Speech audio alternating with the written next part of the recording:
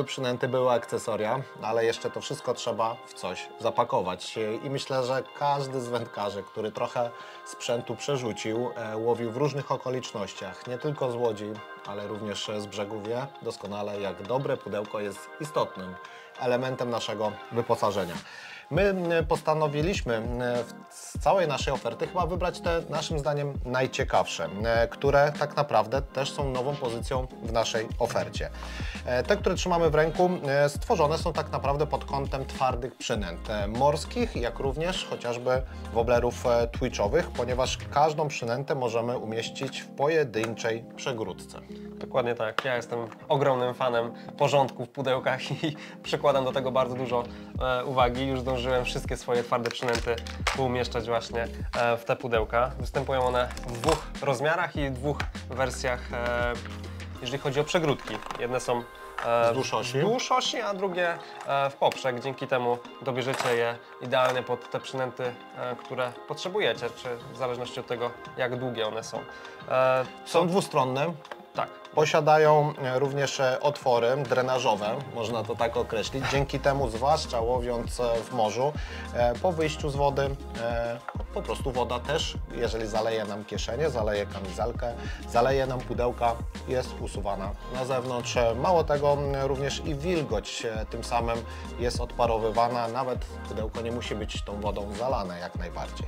Dokładnie tak. Także nic w tych pudełkach nie będzie Wam e, Parowało, Rdzy- korodowało. i tak dalej.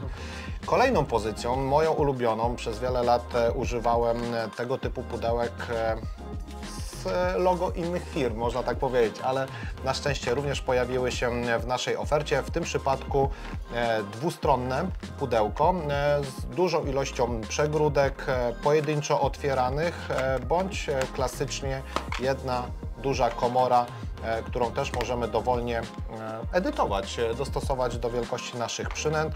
E, W tym przypadku większe pudełko, występuje jeszcze mniejszy rozmiar, otwierany e, w inny sposób e, do mniejszych, e, mniejszych gabarytów akcesoriów. E, Możemy z dużym powodzeniem wykorzystać te pudełka do małych przynęt, bądź po prostu akcesoriów typu kółka łącznikowe, krętliki, główki jigowe. Dokładnie tak. Ale ten rozmiar myślę, że jest idealny i na wiele e, przypadków sprawdzi się doskonale. Czy to właśnie jakieś e, dłuższe wędrówki e, rzekami pstrągowymi, czy po prostu jeżeli macie łowisko, na którym wiecie, że sprawdzają się dane przynęty, to zabieracie kilka przynęt, najpotrzebniejsze akcesoria, wrzucacie jedno czy dwa pudełka dosłownie w kurtkę czy, czy gdzieś do torby i jesteście gotowi e, na wypad. Także myślę, że brakowało tego mocno i bardzo się cieszę też, że Tak jest. I co ważne, co ważne, dlatego specjalnie na początku wspomniałem o wędkarzach, którzy przerzucili dużą ilość sprzętu i pudełek.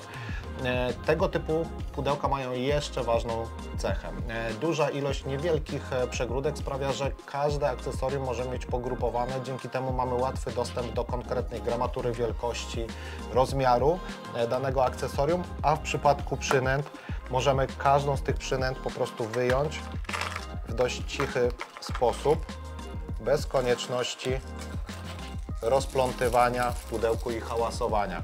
To też jest atut, myślę, e, przynęt pojedynczo sortowanych, pojedynczo e, pakowanych, że mamy dostęp do konkretnej przynęty, jest duża przejrzystość, łatwość e, wyjęcia takiej przynęty i względna cisza na łowisku.